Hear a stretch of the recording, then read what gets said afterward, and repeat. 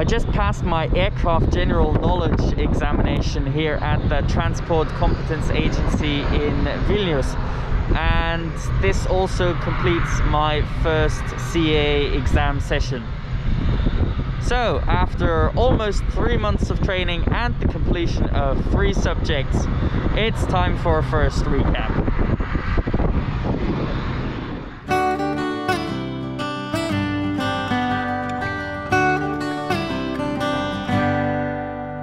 I started training on the 30th of September 2020, along with eight other guys from all over Europe. Our first day was mainly just an introduction.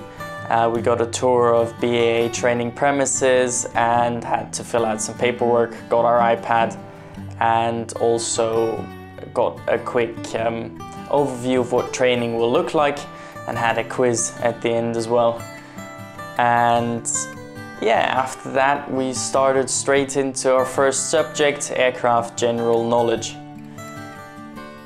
We started AGK at the academy in person and it was very interesting from the start, I have to say. It's, uh, it takes a bit of getting used to basically going to school again but our instructor Domantas, he was really, really great. We had a very fun time with him as well. And he also managed to teach us all the important aspects of aircraft general knowledge very well. After about two weeks, however, we received an email that a student from another group had tested positive for COVID and that we would have to continue training online virtually using Zoom.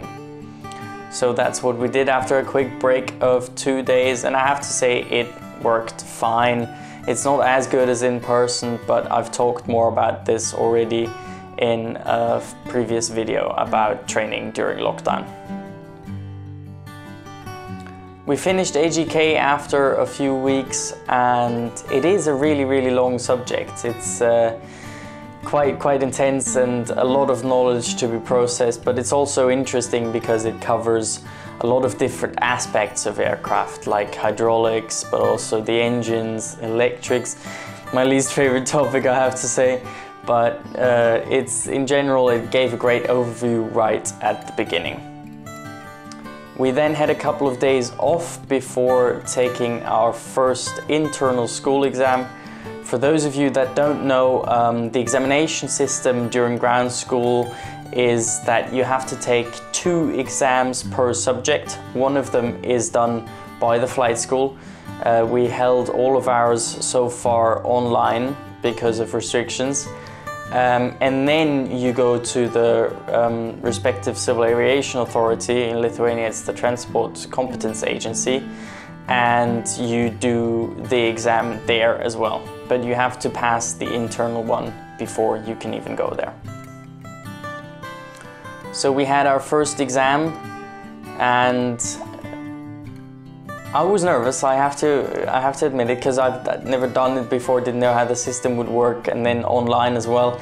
It's a bit more difficult than just using a pen and paper but it worked fine and I passed very well and yeah.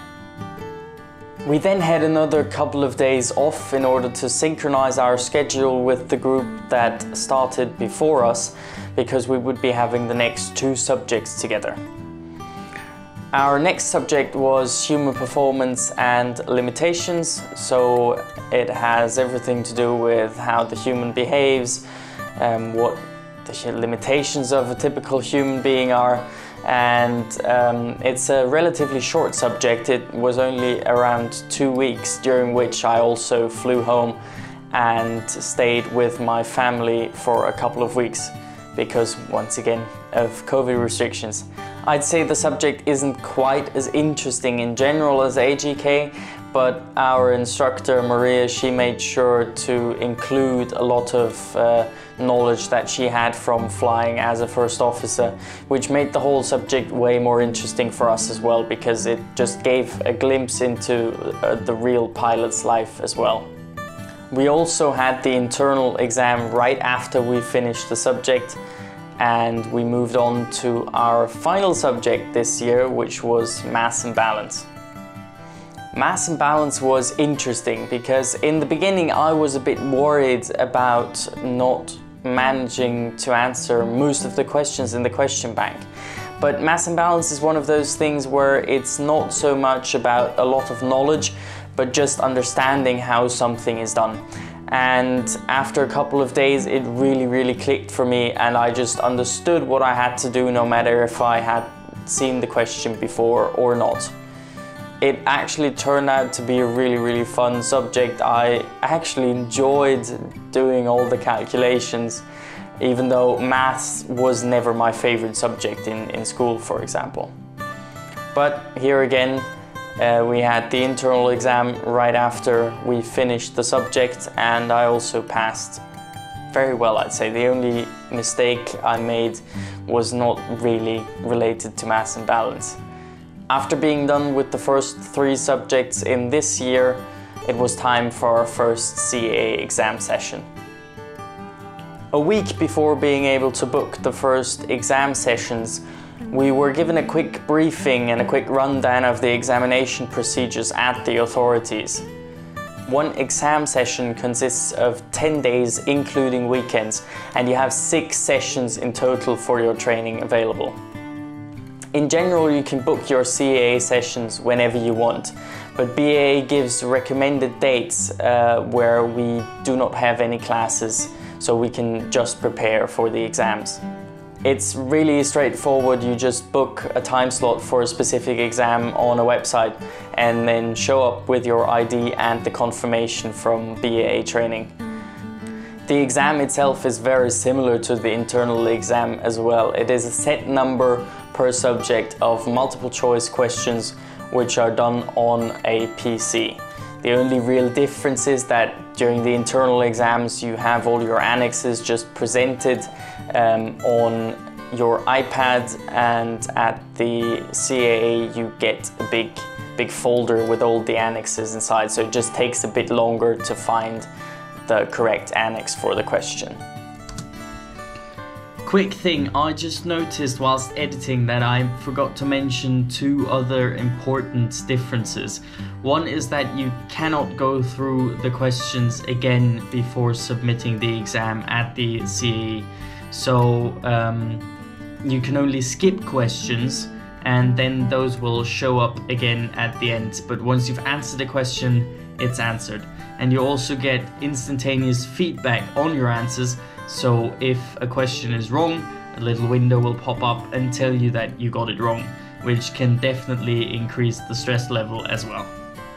I decided to do my exams in reverse order, so I started with mass and balance in the hope that the knowledge from the internal exam would still be fresh, and that was the case, I would say.